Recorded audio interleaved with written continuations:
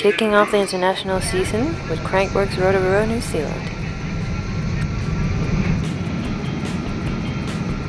I've arrived in Auckland and now I'm just walking to the domestic terminal to go and catch my flight in a couple hours to Rotorua.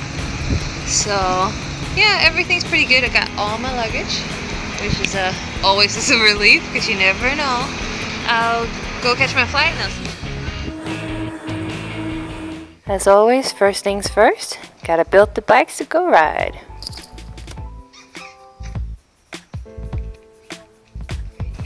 kitty distractions. Oi, kitty. Just arrived day one. Chris is gonna show me the Skyline Warrior downhill. Yay. That she's gonna race on Sunday, next Sunday. Yes. And uh, yeah, let's go for it. Chris raced her way into second place in her first international competition.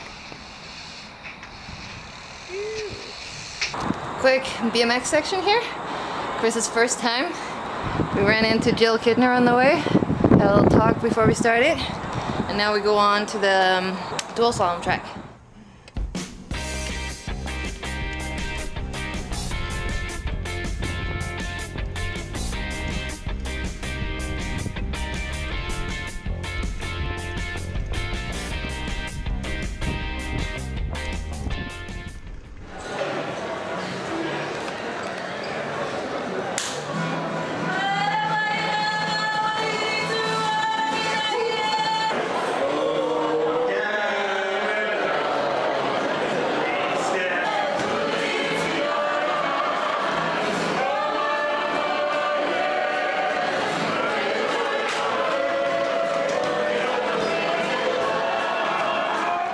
We even went to see the beautiful Redwoods night lights.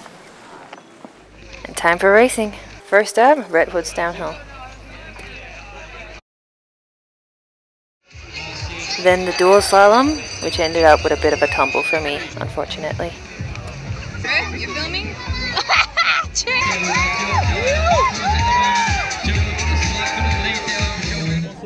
I know every year they have done the Luge race down in Rotorua, but I never had the chance to go. So this year, I finally went.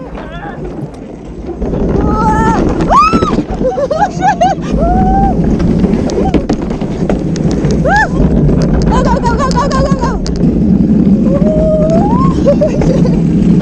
That's sick! My best event of the week was the Pump Track Challenge. I unfortunately didn't have any video from there, so here's a snippet from the live stream that you can also find in the description box below. On the line right now, who is it going to be? Great hold by Danielle there at the start, but Jan Helena Johnsen just edging ahead there, with a little manual, going into turn one. Well, they're tied again. It was only 0.07 in run number one. Oh, but head, head to head down this final straight. Oh. I think Johanna Johnsen just has the advantage. Yeah. Oh. 0.23 she takes over Danielle, and she is going to claim that bronze medal. Jonna Johnsen overtaking Danielle Beecroft right there for the hardware, walking away with that bronze medal. Let's hear it for her. She looks excited, that's for sure. Well deserved medal. If you like this video, hit the like button, leave a comment below, and subscribe to my channel for more videos.